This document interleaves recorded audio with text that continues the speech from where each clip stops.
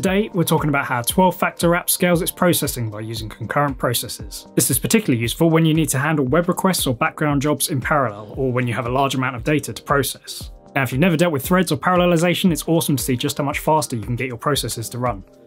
So let's dig into that.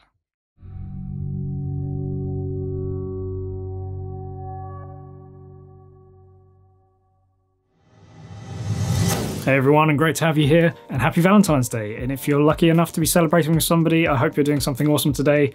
And if not, I hope you're doing something awesome as a free agent. And as I'm recording this well before Valentine's Day, you can only hope that I post this on the right day. But I digress. So this is our series on the 12 factor app where we aim to make applications more scalable, reliable, and efficient to work with. Now, one of the ways we can make applications more efficient and scalable is by using concurrency. Now, concurrency is the ability to run multiple processes at the same time. So you can think of it as there are two ways to scale. You can either scale up by increasing the amount of resources that your server has to run its processes on, or you can scale horizontally, in which case you are essentially setting up many, many servers to run the same job in tandem and therefore separate the workloads amongst many, many nodes. Now, in certain scenarios, it's far better to scale horizontally than to scale up. Scaling up, you can run into limitations in terms of processing and resources that are available to you, Scaling horizontally, you can scale as much as you, you can afford. And what it allows us to do is to cater to a larger audience and to scale up our processing. So to give a few examples of concurrency and where we might use it in our applications, if you had say a database or a queue, you could have a process that goes off and it grabs an item from that database or queue, does some processing with it, and then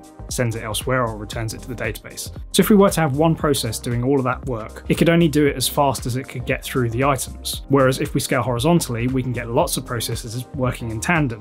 Another example might be if you were doing log file processing or some form of text processing, you could have lots of workers handling lots of files or lots of lines in files. But the most obvious example is a web server. So we have lots and lots of users who want to access our website at the same time, but we're not going to make them wait until the previous person has accessed the site before serving that request. We want to serve all those requests in real time.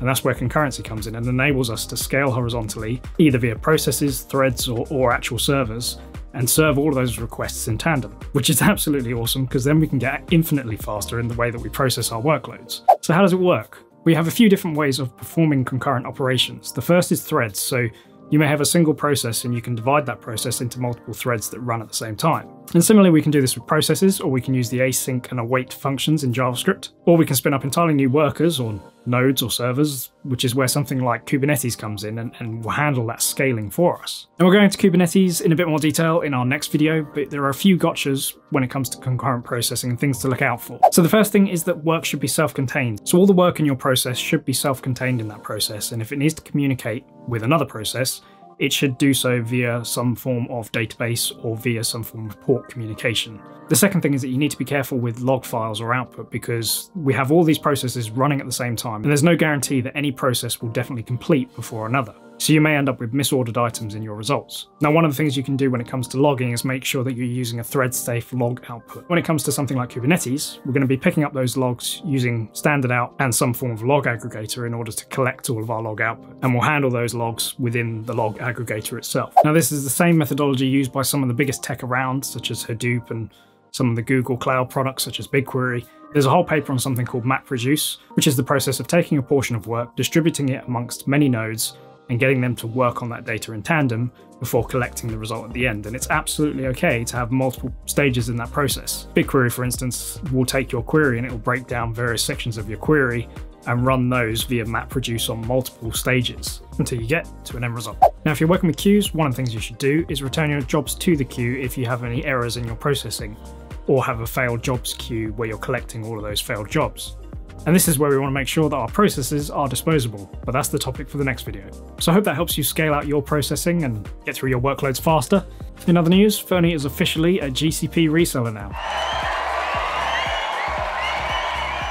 And what that means is we can now offer invoice-based billing to our clients. It's another win in our GCP history, so direct message me on LinkedIn if you want more details. I hope you enjoy the rest of your Valentine's Day, whatever you're doing.